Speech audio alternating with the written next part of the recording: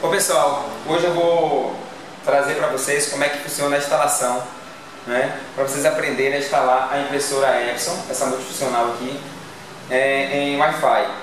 Né? Também vai ter o vídeo da instalação da máquina em si, da instalação das tintas e principalmente se você tem aquela, se você quer usar aquele, aquela tinta em litro, é, você tem que ter cuidado na instalação para você guardar esses vasos, senão você não vai conseguir instalar. Gente, é, a máquina vem com o cabo USB, o cabo de energia, vem com as tintas, certo? Vem um manualzinho também aqui que você pode usar para tirar qualquer dúvida. É, você vai primeiro tirar os adesivos, né? Eu vou tirar aqui. Você vai tirar todos os adesivos da máquina. Você já pode levantar, né? Que você vai botar os papéis aqui. É, aí a gente vai fazer. Que é que, no momento você não vai ligar o equipamento você não vai fazer nada. Aqui vai ficar tudo no lugar que está aqui. Primeiro, o que é que nós vamos fazer? Nós vamos instalar o Drive. Você vai, né, é, no Google e bote lá o modelo que você quer. No caso eu vou botar aqui a Epson L3250. Aí você pode digitar Drive, que ele vai, ele vai abrir já na página da Epson. Entendeu? Aqui, ó. Abriu na página da Epson. Aí você vai abrir. Geralmente ele reconhece o seu drive, o, seu sistema operacional. Se ele não reconhecer, aí você vai procurar saber se é 32 bits, 64 bits, e se é o Windows 10, Windows 11, Windows XP, XP não, né? A gente não usa mais XP hoje. Windows 7, é, certo? Aí você vai fazer tudo certinho e baixar esse drive. É, nesse caso aqui, ó, esse aqui é um Windows 7 62, ou 32 bits, né? Tem 64 bits, 32, ele não reconheceu, eu tive que informar. Aí já tem aqui embaixo, ó, o drive, certo? Aí você vai fazer o que? O download. Clicou em download aqui, ele vai começar e depois a gente vai começar a instalação. Quando você abrir seu computador, aí você clica, né? Aqui eu cliquei no arquivo, certo? Aí ele abriu isso aqui, aí você vai em executar. Aí ele vai começar a abrir e processar o sistema. Ele diz, ele faz uma pergunta, aí você pode dar OK, ele vai começar a instalar. Aí vai ter o processo, a gente vai acompanhar direitinho aqui. Ele fala aqui sobre licença, você clica em aceitar. Seguinte, Aí você vai. É... No momento agora você vai ligar o equipamento, certo? Então vamos lá, a gente vai ligar o equipamento. Esse cabo, aqui ó, esse cabo aqui na parte de trás. Aqui é a conexão USB e aqui é a conexão de energia. Então você conectou aqui e a gente vai ligar. Valeu? Tem que apertar aqui direitinho para encaixar certo, né? Segura a máquina que eu tô com a para não ficar com duas mãos aqui, mas eu vou encaixar direitinho e depois ligar na tomada. Você vai segurar o equipamento e encaixar direitinho, porque ela, ela encaixa com uma certa força. Valeu? E aqui já está beleza, já conectei ali na tomada, embora lá ligar ela. Depois que você ligou lá, né, ligou a, a tomada lá, a parte de trás certinho, ligou a tomada, você vai ligar a máquina. Aqui é a primeira vez que a máquina está sendo ligada, né? Aí o que, é que a gente vai fazer agora? Abastecer a máquina com tinta. A gente vai aqui pegar esse daqui, que é o preto, não é? A gente vai. Tem um lugarzinho que você pode puxar aqui que ele vai lascar. Aqui, ó. Puxou. Tirou aqui. Entendeu? Tem uma coisa que você tem que entender aqui. Se você for recarregar essa, essa máquina com usando aquele, aquele refil de um litro, você não pode jogar esse vaso fora, certo? Você tem que ficar com esse vaso guardado, porque depois você vai recarregar usando ele. Não jogue fora. Agora, se você só for usar o original, pronto, acabou aqui, pode jogar no lixo, pode descartar, sem problema. Vamos carregar ele agora. É bem importante. Primeiro o preto, depois o amarelo, magenta, cian. Então a gente vai abrir aqui. A gente abre aqui certo? É, não vai ter como você misturar as tintas aqui, certo? Que são em caixas diferentes. Então, mas primeiro é o preto. Ele agora vai descer a tinta todinha aí. Opa. Na parte de baixo aqui, ó, vai subindo, ó, já está no meio aqui, vai subir, então a tinta vai sair todinha, já está quase cheio, ó. Quando ela acabar, ela vai tá fazendo um barulhinho aqui, então quando ela acabar, ela vai dar cheio aqui e aí encerra, né? E esse vai fazer nas quatro cores. E a gente vai agora na cor amarelo, certo? A gente vai aqui, abriu, fala. É, tem hora que pode até sujar, suja muito se derramar. Então, colocou aqui, deixa, vai começar a encher aqui embaixo. No segundo, tá vendo que o primeiro aqui, ó, já encheu. Então o segundo já está começando a subir e ele vai até o final. Tá baixando aqui, ó, dá pra ver aqui, ó, tá aqui, ó, e baixando, tá vendo? Então ele vai descendo e vai, né?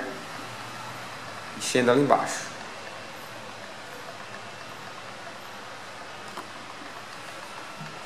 Já está aqui no Epson, ó, enchendo o carro, né?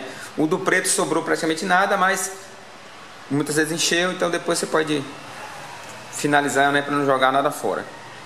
OK? Quem já sabe como era antigamente, né? Que tinta, antigamente os cartuchos eram com poucos ml, quase nada, não dava para imprimir nada. Hoje, é, botar a mão no céu agradecer a Deus por essas máquinas, porque quem acompanhou as impressoras antigamente sabia o que é sofrer em recarregar cartucho. Ninguém merecia aquilo ali. Mas hoje tem essas máquinas que realmente é muito bom. Finalizou.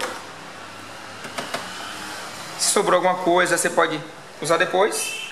Não tem problema. Vamos fazer isso aqui com as outras cores.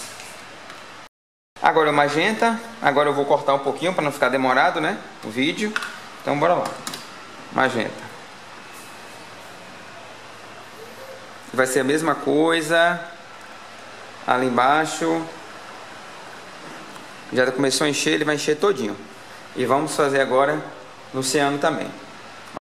O magenta terminou. E agora a gente vai para o último, que é o oceano. Por último aqui é o oceano. Você bota a sequência é preto, amarelo, magenta, ciano.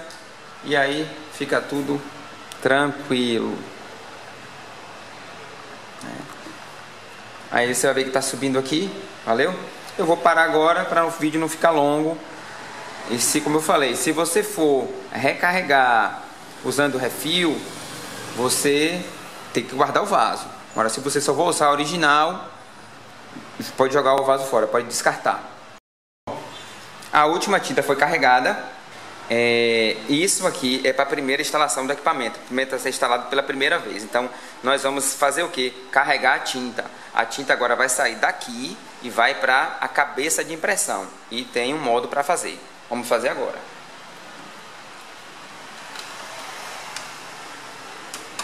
Aqui finalizou. Na primeira instalação, colocou a tinta, né? Aí a máquina aqui vai ficar com essa luz da, da gota aqui de tinta acesa. Ela está dizendo que está sem tinta no sistema. E o que, é que a gente faz? A gente vai apertar o botão aqui de stop, apertar por 5 segundos até o painel aqui, a luz verde, piscar. Então bora lá, por 5 segundos.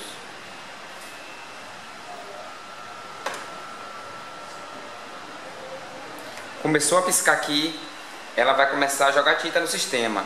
Isso vai durar em média 11 minutos, é o que fala o manual. Então você vai aguardar todo esse processo para depois finalizar a instalação no computador, certo?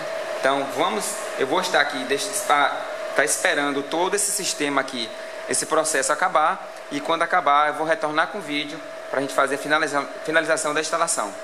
Olha o barulho que ela está fazendo aqui, quer dizer que ela está adicionando tinta no sistema até chegar à cabeça para depois de fazer o teste de impressão. Aqui gente, é, quando a luz fica acesa e para de piscar, então o sistema, né, estou botando aqui o carro da luz, o sistema já está 100%. Então a gente pode fazer o próximo passo. Aqui a máquina perguntou, já entrou todos os tanques, terminei de encher. Seguinte, ele vai começar o processamento. Ele está instalando os drives, né? Falar que está transferindo o software, ele está instalando os drives. É, depois ele vai perguntar se vai ser Wi-Fi ou se vai ser USB. Eu recomendo as duas instalações, porque se der uma, um pane no, no, no Wi-Fi, aí você usa o USB, entendeu? Você pode deixar o USB como segurança, ou vice-versa, né? Você pode usar sempre USB e Wi-Fi instalado também no momento de que você precisar. Ó, é, a tecnologia hoje é muito legal. Ó, o que aconteceu ali? Quando a sua máquina está ligada e o computador, nesse caso aqui, ele está conectado ao Wi-Fi, ele já reconheceu a impressora, certo? Então, a gente, ele perguntou ali, produto compatível com Wi-Fi encontrado. Deseja conectar-se à rede automaticamente? O que você faz? Você digita assim. Aí ele vai o que? Conectar a impressora. Você vai sempre seguir o que é que o computador, as perguntas que ele vai fazer. Você vai seguir essa ordem. E aí tudo vai dar certo. Nesse momento ele está se comunicando, né? Ele se comunica com a impressora e vai fazendo a instalação. Né? Isso é muito importante, você tem que saber isso. Se sua rede Wi-Fi é problemática, eu nem recomendo a instalação Wi-Fi, porque toda hora fica dando problema. E muitas vezes, no meio da impressão, a internet dá problema, ela, dá, ela, ela, ela não termina a impressão, ela imprime metade, metade sai em branco. Então é importante a sua conexão Wi-Fi estar funcionando bem, plenamente né, bem configurada. Se você não sabe configurar, chame alguém que sabe. Para a internet fica trabalhando redondinho. Valeu? Aí, mas ele está tá configurando ali tudo certinho. E ao finalizar, eles vão dar OK ali. A gente vai finalizar. Ele pede aqui é, para você clicar em modificar, né? Ele vai assim, configuração automática DHCP, é o mais indicado. Né? estático, se sua rede for IP estático, ou seja, esse computador aqui é final 01, você tem mais 3, 4 computadores 02, 03, 04, 05, e aí você podia botar a impressora 06. Mas, é, como é uma rede aqui mais simples, só vai ter dois computadores, então você pode deixar em DHCP. Então você clica em modificar. Se dá OK. Depois que você configurou, já está aqui ó, em DHCP, você vai clicar em próximo, que ele vai finalizar a instalação. Né? É um pouquinho chato a primeira vez, mas isso só faz uma vez. Faça bem feito, que você não vai ter dor de cabeça. Ele mudou a tela aí, né? É, verificando o ambiente. Ele agora vai finalizar instalando os drives que você quer. Ele tem aqui é, utilitário, scanner, isso é interessante, você vai ter que usar o scanner, você precisa instalar. Manuais, se você quiser instalar manuais, eu não vou querer instalar manual. Epson Photo você pode deixar. Esse computador aqui não é tão poderoso, vamos dizer assim, então você não precisa instalar tudo. Né? Epson Photo, você pode precisar de algumas coisas para fazer scanner, então eu só tirei os manuais aqui. Vai clicar aqui e instalar. Aí ele vai começar a instalar, quando voltar a tela, eu volto com vocês. Bom, gente, no meu caso, que é o Windows 7, é, ele precisou de adicionar aqui o, esse, mais um programinha aqui, certo? Mas se eu, sou, se eu for Windows 11, Windows 10, provavelmente não vai aparecer essa tela, ok? Mas se for Windows 7, vai aparecer a tela, pode clicar em OK e adicionar, valeu? Isso é tranquilo. Ele está terminando de instalar aí para finalizar. Aqui finalizou, vou clicar aqui em concluir.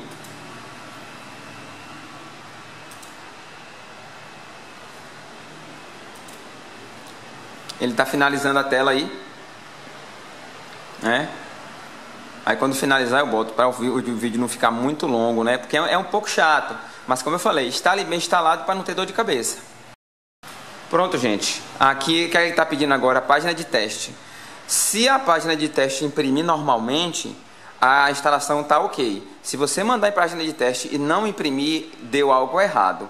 Aí nesse caso, se você pode tentar novamente, né? E se não der certo, instale USB, que aí vai funcionar. Mas muitas vezes você quer deixar instalar mais de um computador e entre outras coisas. Mas a gente vai fazer agora a impressão de teste e vamos ver se vai sair ou não. Vai tirar a prova dos 9 agora. Eu enviei a impressão de teste, a máquina já recebeu. E a gente vai sair aqui agora, vai testar tanta qualidade da se a tinta já foi para a máquina e também a, a, a conectividade, certo? Pronto. A instalação ficou perfeita, né? Em Wi-Fi. Eu também vou fazer um vídeo em USB. E o que acontece? Aqui ela instalou, é, só dá problema, só vai dar problema aqui se você é, alterar a configuração das, do seu Wi-Fi. Então, o recomendado é não alterar. Se alterar e der problema, desinstala, instala novamente e vai resolver os problemas. Também, se você tiver problema de falha na impressão, tem vídeo meu aí sobre problema de falha de impressão, como você corrige, tá bom? Então você instalou o drive original, você vai ter toda a configuração mais fácil. Ó gente, uma coisa aqui que você precisa saber. É, muitas vezes tem atualização de firmware. Então, se tiver, você pode mandar atualizar o firmware da máquina, certo? Aceita. Seguinte. Deixa ela ligada. Depois que é, atualizar o firme, ele pedir se você quiser se inscrever aí na Epson, entre essas coisas, você pode se inscrever. Se não, se você não quiser deixar, é, ficar fazer seu cadastro, aí você pula e finaliza. Depois é que ela já instalou né, o firme, você bota aqui finalizar. Já está finalizando ali tudo. Depois de terminar. Pronto, aqui ele concluiu tudo. Como eu falei aqui, ó, concluir e registrar. Registrar, se você quiser se registrar na, na Epson, é bom, né? Você tem um registro. Então aqui você conclui. Ele vai abrir aqui uma página para você se registrar. Eu não vou me registrar aqui, porque esse computador nem meu é. Quando você clica com direito aqui, você vai aqui preferências, definições de impressora. Isso aqui, ó, é manutenção, essas coisas faz nessa parte aqui, né? Então, quando você precisar, limpeza de jato, essas coisas é nessa página aí. Valeu? Um abraço. Agora, agora eu finalizo o vídeo. Valeu? Um abração, gente. Até o próximo vídeo falando sobre Epson. Para você que não sabe, eu sou técnico Ricoh, eu sou técnico de copiadora e impressora. Essas máquinas aqui eu não sou, não sou técnico. Eu só faço instalação para algumas pessoas que são amigos, né, para minha esposa também que tem essas impressoras. Valeu? Um abraço.